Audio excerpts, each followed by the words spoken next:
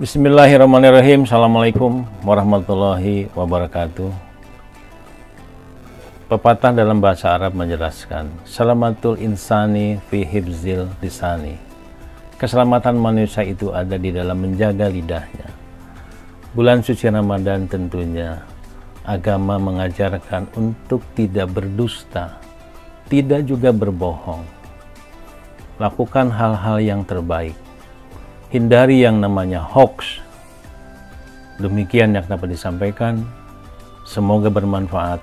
Assalamualaikum warahmatullahi wabarakatuh.